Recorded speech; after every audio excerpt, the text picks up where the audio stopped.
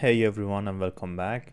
In the previous video, we have learned how to create a signal and send it to the other client that hey, there's a new call receiving. And in this video, we are going to actually create our call activity and navigate to our call activity. So to do that, I'll create my call activity class. First annotate that Android entry points and it will inherit from app compat activity so let's create our view binding private lateinit var views of type activity call binding and inside on create methods I'll instantiate my views using activity call binding dot inflate and pass layout inflator to it and set content view to views dot root. So let's go back to our manifest and add a new activity here and it's going to be call activity and set exported as true. So right here we should receive three arguments from our intent uh, one of them is target that we are going to start this call activity with him or with her. It's going to be a string and now initially other one is going to be is this call video call uh, private var actually. It's a boolean and initially it's true and the other one if this person that comes to this activity is caller or it is callee so we'll make it boolean and imagine if and think that he is a caller and then here I'll create a function called init and inside init function I'll check my intent first get string extra get string extra with the name of target. I'll check if it's not null then this dot target is equal to it. If it is null then I wanna run a Kotlin run block and finish my activity. And is video call is equal to intent gets boolean extra. And with the key name of is video call and default value is going to be true. Same goes for is caller and is caller for the key and default value is going to be true. And using views I'll create an apply block to decide uh, whether if, if this call is video. So we should hide some buttons like here. For example if it's an audio call we don't want to see uh, the toggle camera button the switch camera button or screen share. Let's go back to our call activity and check if it's video call not. It means it's an audio call. Then you want to do the camera button? Is visible. It's false. Screen share button also and switch camera button to be false. So let's go back to our main activity and here and here. Let's remove this toast and instead of that let's write start activity. For the beginning we pass this and start activity and write intent pass this for the beginning and call activity as the target. We also want to apply some block to our intent and put some extra. First the target is going to be username that is derived from this listener and also put extra is video call to true and is caller to true same goes for here but this is an audio call so we set this to false but it's a caller still since this interface is being uh, derived from our recycler view that we decide to click on the audio button. So it's a caller and here let's remove this one. And for this we have to mark it with main activity and the target is going to be the person who sent this to us which will be model.sender and is the video call is going to be his video call and his caller is going to be false. We can check that by running our emulators.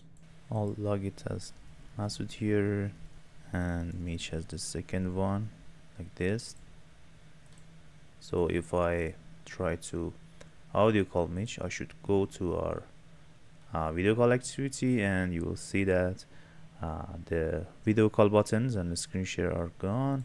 And same if I go with the video call we can see the intents are derived totally. And if I accept it here it would be the same. Let's go back and send the audio call. Accept. And yeah you can see everything is working fine. Okay let's go back to our code and move to our call activity. I want to inject the service repository and using a function like this set up views. We will give this information to our service that hey it's a video call. Tell our WebRTC client that set up our uh, surface view renders or if it's an audio call we just wanna create an audio source. So to do that let's create this function like this. I'll just pass this video call is caller and target as non null so let's create member function like this. Let's create an intent first context and main service. Intent that apply. The action is going to be main service actions dot setup views. We shall create in a second. That name. Put extra is video call to is video call. Put extra target to target. And is caller to caller and then start service intent and pass intent to it. And let's go to our main service and in case of setup setup views for some reason it's being stupid name you wanna handle setup views and pass the incoming intent to it so let's create this function. And here using this incoming intent we will get our variables like is caller is equal to incoming intent gets boolean extra the name of his caller and it's going to be false initially. Same goes for is video call is video call. You should copy and paste these keys so you can't make any mistakes. And the target is going to be incoming intent. Get string extra and pass the target as the key. The next thing we wanna store our target using this function and pass targets to it. And we know it's not null. So let's create this function like this and create a variable name private var target of type string and it's going to be nullable and null initially. So this dot target is equal the target from our function.